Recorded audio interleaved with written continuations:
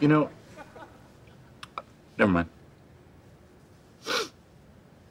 It's just, forget it.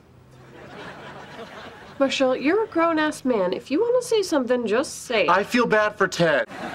You feel bad for Ted? It's tough feeling like the third wheel. Okay, first of all, I'm sure Ted's fine. Who eats salt and pepper without cumin?